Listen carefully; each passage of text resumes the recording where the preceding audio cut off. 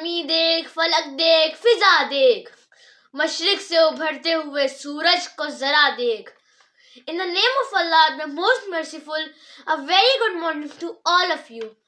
I, Muhammad Shaheen Aman from class 4 Blue, along with my class fellows, welcome you all to this special morning assembly.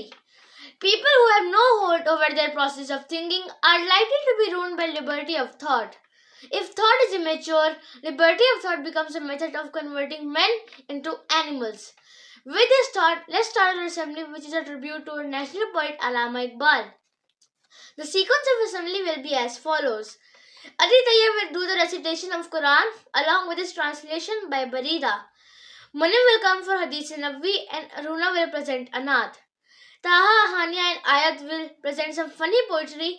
After that, Amber will deliver a speech on Allama Iqbal. Hadi and Zain will help us to increase our knowledge through some interesting facts and the Do You Know segment.